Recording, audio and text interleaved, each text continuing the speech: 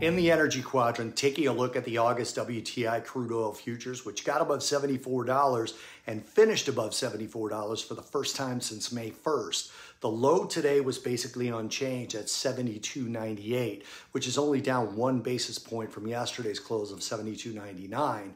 The high print, on the other hand, was 74.96, up 2.7% from yesterday's close. In the net last nine sessions, crude has risen a very respectable 10.358% and is working on its third consecutive week of higher prices after a period of seven of the last 10 weeks finishing lower.